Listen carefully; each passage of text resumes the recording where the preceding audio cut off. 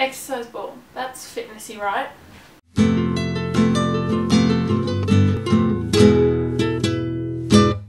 So we're talking about fitness this week, which is why I've decided to change my vlogging position a little bit and vlog on a fitness exercise ball. I'll probably be bouncing around a lot while I'm talking because that's what I do when I sit on these, I bounce around. I wish that I had fitness.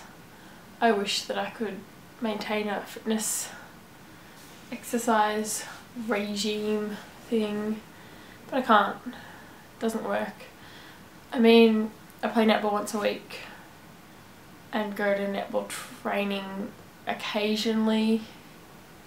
It's every week, but I probably go once a month if I'm lucky because I'm lazy and it's on at the same time as the block and I'm sorry but the block wins. I also go to the gym once a week, like a group personal training class. That's always a lot of fun and I find that I'm always quite highly motivated in that class to kind of compete with the other people in the class and do well. Every now and then I kind of go on a fitness kick and go for runs like every day and do exercise and stuff but most of the time it's just me sitting at home on my computer.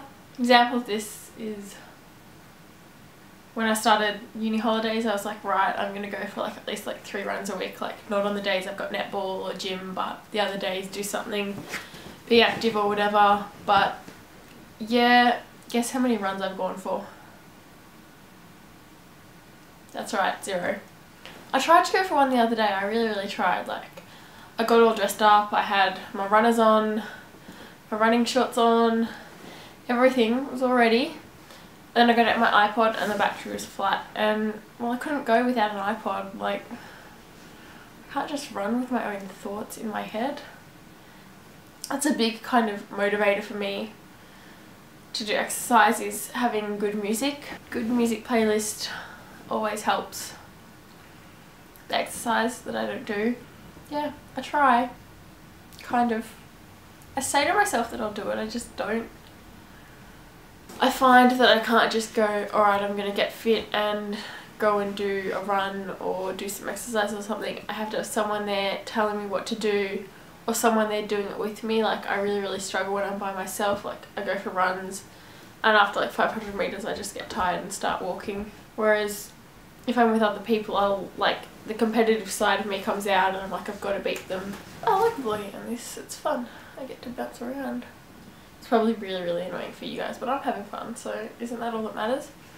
I mean, it's not like I don't do anything. I walk to a lot of places, mainly the train station. I walk to work sometimes. I really need to get into the habit of running more frequently. It's just finding the time and the weather at the moment's been so bad I don't want to go outside and run. One thing I do love though, especially about gym, is kind of the adrenaline high you get after you finish. Like, can go to gym so unmotivated and I so can't be bothered doing anything. At the end of the session I'm full of energy, on a bit of a high. It's always such a good feeling but it's pushing through all that pain and effort to get to that feeling that I can't be bothered with and I don't do often enough because I have no motivation.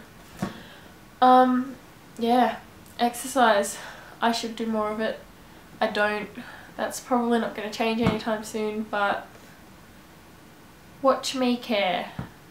Um, Kiwi, I think I'm seeing you tomorrow. I know you're going to Queensland, but I think you were making a video anyway.